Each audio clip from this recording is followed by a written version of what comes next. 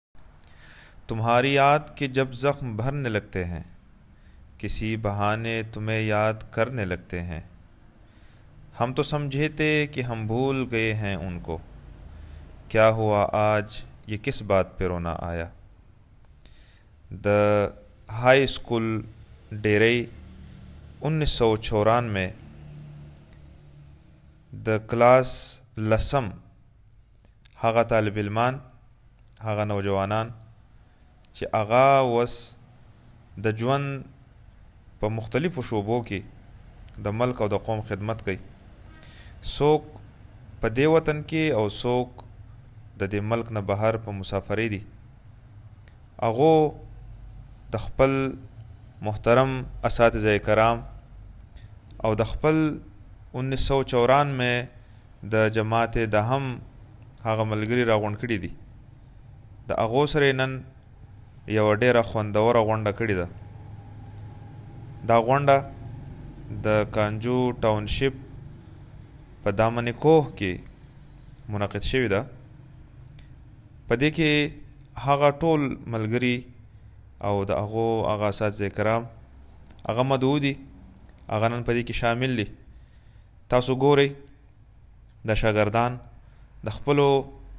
مېلمنو د خپل اساتذه کرام استقبال کوي هغه زوړ یادونه هغه تازه کوي هغه وختونه هغه یادونه هغه نن بیا د سترګو د وړاندې مخې مخې ته کېږي اساتذه کرام خپل شاګردان پیژني او شاګردان په ډیره مینه باندې د خپل اساتذه کرام سره ملاویږي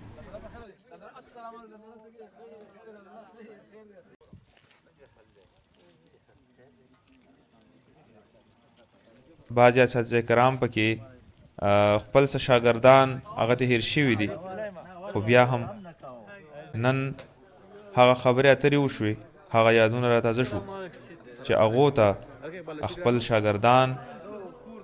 بیا بیا ور په یاد شو ډېرې خوندورې قصې وشوې ډېر خوندور یادونه را تازه شو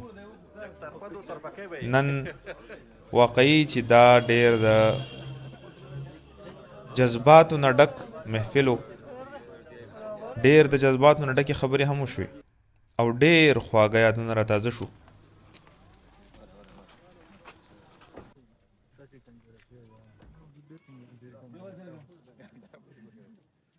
په دې موقع باندې خصوصي شکریا د هغه ملګرو ادا شوه کم چې د وطن نه بهر دي په مسافرۍ دي او د هغو په ډېر خواهش باندې او په ډېرو کوششونو باندې او په ډېر کومک باندې نن دا غونډه راجم شوې وه دا ملګري او دا استادان راجم شو او ډېر یو خوندور پروګرام منعقد شو په دې موقع باندې د هغو خصوصي شکریا ادا شوه او هغو ته خصوصي پیرزونې وړاندې کړې شوې. قریب الله قریب الله صبر باندې قریب الله بسم الله الرحمن الرحیم ټول ناول زه د خپل کلاس د مرګرو د 1994 ډیری های سکول چې کوم کلاس زمون کلاس فیروزي مرګري دي دا غو په بهاب باندې زه خپل ټیچرز ته چې په انیس سو چورانوې کې زمونږ په ډیری های سکول کې زمونږ استادانو معزز استادان د هغو شکریا ادا کوم چې هغو په دې عمر کې د دومره مصروفیاتو باوجود نن سبا ټیم ډیر زیات قیمتي دی او د دې اکثر زمونږ استادان صاحبان داسې دي چې هغو ته داسې مطلب ایج کې دي چې هغه ته راتلل هم ډېر تکلیف سره راغلي دي نو زه د هغو شکریا ادا کوم چې هغو دلته کې رالل زمونږ په دعوت باندې چې موږ ته معمولیون دعوت ورکو او دا زمونږ د مرګرو یو دیرینه خواهش وو چې موږ د خپل کلاس مرګري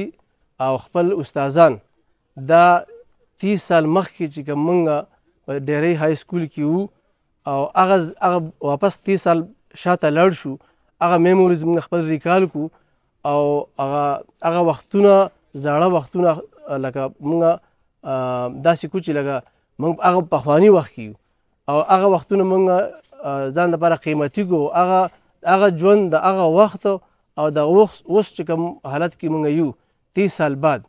په دې دوران کې زموږ ډېر ملګري داسې دي چې هغه د د ژوند په مراحلو نه پاس شوي دي څوک چرته تللي دي څوک چرته تللي دي څوک پاکستان کې دي څوک بهر ملکونو کې دي څه ملګري زموږ وفات شوي دي دغه شان زموږ استادان صاحبان چې دي هغه څه حیات دي څه وفات شوي دي نو چې د ټولو ټول موږ د مرګري زاړه مرګري استادان د موږ په یاد کې راولو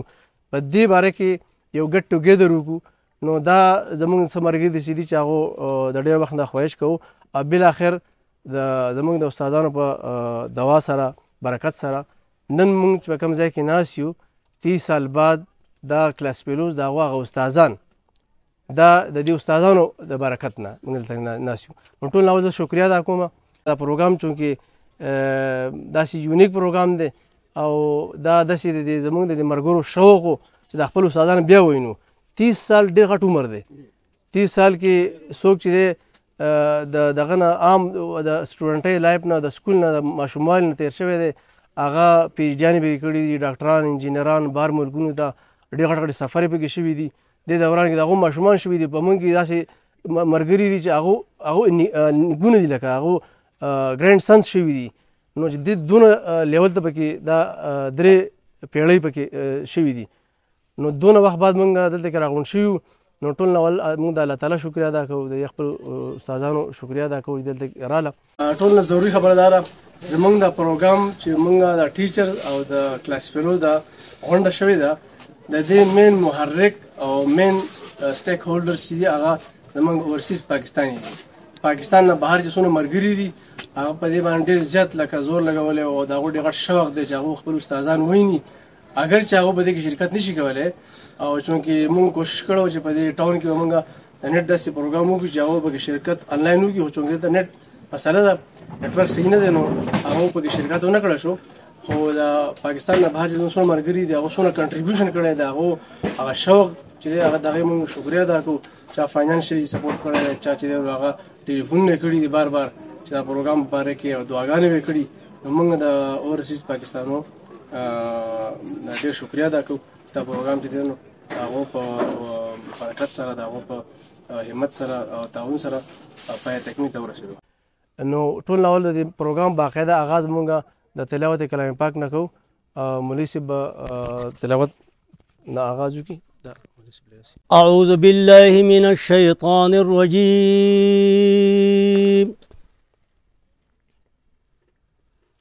بسم الله الرحمن الرحيم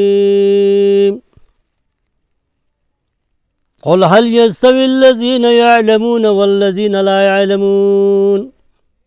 وقال رسول الله صلى الله عليه وسلم إنما بعثت معلما أو كما قال عليه السلام زما انتهائي قابل احترام بزرګانو استادانو د قوم مشرانو د قوم معمارانو رب العالمین په خپل کتاب کې فرمای وای پیغمبره هغه خلک برابر دي چې پوهږي او چې ناپوه دي دا دواړه برابر دي نه دي برابر دا الله په نسبانه عالم معلم او هغه ډیر چت دی الله فرمایي بل چې موږ هغه خلکو له علم ورکړی اولو العلم درجات هغه له موږ ډیر لوی مرتبه ورکړي دي په دنیا کې او په آخرت کې هم حضرت علی رضی الله تعالی عنہ قول له چې زه د هغه چا غلام ما چې ما د چا نه یو ټکی زده کړی دی که ما خرڅی نو هم دغه حق دی چې ما خرڅ کړي یقینا خبره ده چې مونږه چې دلته خپل شاګردانو په هغه خلوص باندې د هغې په هغه مینه باندې چې کوم اساتذه کرام یې راغوښتي دي کوم مشران یې راغوښتي دي مونږ به دا دعا غواړو الله دې دې اخرت او دنیا دواړه ښایسته کړي الله دې د دوی چې ډېر بچي غوړ لري زما خوږو کولیګز او خوږو شاګردانو السلام علیکم دا دې غونډې ما ته دا یو غټه فایده راکړه چې ما خپل استادان صاحبان لکه دا شاه قاسم جار ما ستر سال بعد ولیدو مسلمانانو په دې دیګ په خیل کې کنه یا دا دغه شو دا نور استادان صاحبان شو دا خو موږ ته د دې غونډې نه فایده راله ما به کل ناکل ته پوس کو چې خواهش هغه سمجن څنګه دی یا زما بل استاد صاحب څنګه دی بل اوس هم په خپل سترګو ولیدل او ډېر زیات خوشاله شم انتهایی چې ځکه خیر دی خو لا ګرځي را ګرځي او جشته او جشته بل کله چې زه ډېرې سکول ته رالم نو خدای شته دی ډېری سکولونو به خلکو ډېر خلک هېرول چې دا ډېر دغه دی حالانکه بهترین سکول ته ما بل ګولی نه لیدلی ما یو ورځ لاړم اتم کلاس ته په اتم کلاس کې ډاکټر صاحب زموږ دا ټول موجودو ما د شیخ قاسم جاد دې ټول ته وویل چې ما دا کلاس چې دی خو دوی به خامخا بهترین کلاس ته ان شاء الله د ګایډنس پکار دی دوی به خامخا په بورډ کې سپوزیشن اخلي او د الله تعالی لاک لاک شکر وو چې پاکي هغه دواړو ورونو یو فرست راغی سیکنډ راغی پوزیشن یې واصل په بورډ کې دا زما د کیریئر هم اولنې ځلو چې زما په دوران کې د سکول الګ په بورډ کې سیکنډ یا تھرد پوزیشن نه واغستل او بل دا چې دا دا لکه ما ولدل په ورځ باندې نو ما د یو غ سایکالوجي یا نفسیات نفسیاتي دغه ما وکړ چې ما دا ډېر بهترین دغه دي بلکې ایون ټول کلاس ډېر خو په ورځ باندې یو زموږ نور نشم ویلې زموږ د کار نور څه نه کیږي ځکه د بیلا سو بیخ شوی وسو خو صرف زموږ غټه تحفه دې سره دوا ده نه ان شاء الله چې زموږ دعا به کې خیر ان شاء الله قبلي قبول شي ان شاء الله او قبليږي به مو زما دا دعا ده چې الله تعالی دی په دین دنیا باندې یوازې دنیا نه په دین دنیا دې خوشاله او آباد لري سره د اولاد او بچا چې دی خوشاليږي سره دا غو دا یو دیسی پروګرام دی چې د دنیا د تاریخ یو عجیب خپل پروګرام دی ځکه چې زمونږ د اوسه پوری یو سوچ و چې د استاد او د شاګرد چرته رشتہ خوګه نه څه ځای پورې به یي خو بیا پاتې شي او نیمګړی پاتې شي او ورک شي او مونږ بیا شاته کاته چې زمونږ بیا خواته سوک شته نشته د 1994 یو سیشن یا یو بیچ چې کوم دی اغي نن موږ ته عملی درس راکو چې استاد یو ناقابل تسخير هستی دا دا ورکیږي نو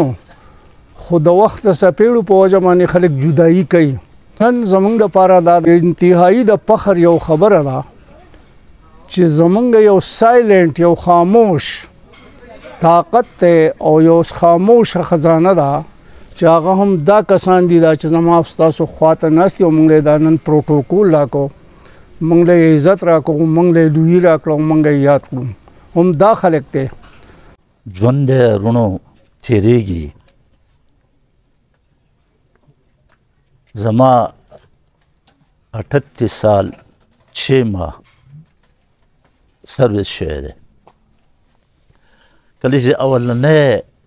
سرویس زما وشو بونیر کې پلاین کوچ کې زه ناست وم هغه کې دا ریکارډ غږېده مناسب خو نه دی بعضې مشران دي استادان دي زما خو به هر حال د وخت د تېرېدو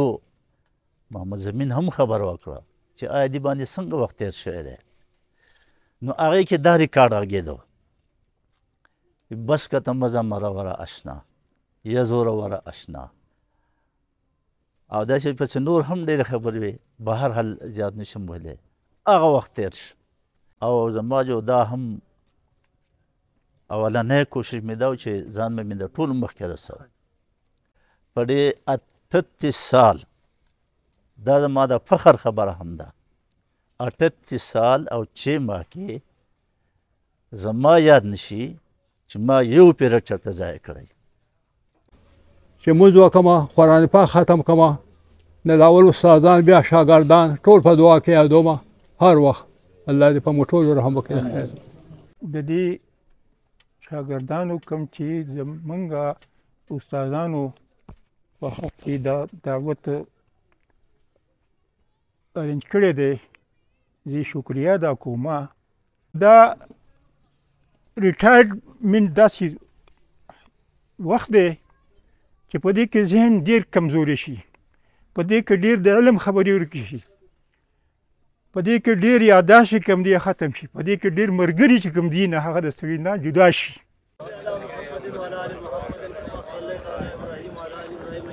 اللهم بارک علی محمد الله چې کوم دې مرګرو د شاګردانو کوم خلوص اظهار کړي د بهر دی